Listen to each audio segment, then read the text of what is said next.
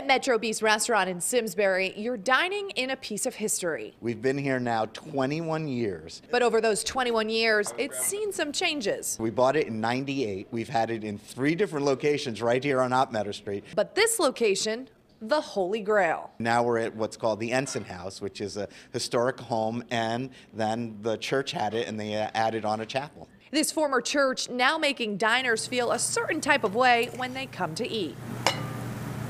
Not just the holiness of the food, but it has a good feeling, right? You're here now. Doesn't the place have this like good, like hugging kind of feeling?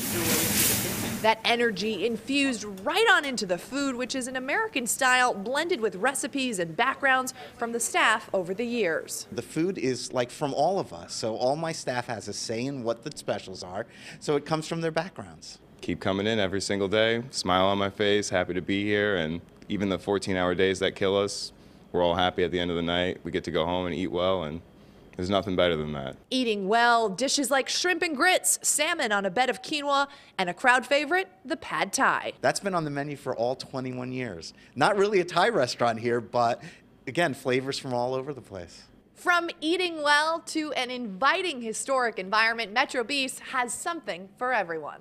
It's its own experience. You come in the door, you're in this old historic building. It's been part of this town for decades and it's very meaningful to a lot of people. Come here for the food, but come here to see the place because it's a historic building, right? I mean, you look from the outside, the building is gorgeous. It's this old stone built in 1906, and then you're sitting in a chapel having dinner. What's better than that? Reporting in Simsbury, I'm Margot Farrell, Fox 61 News.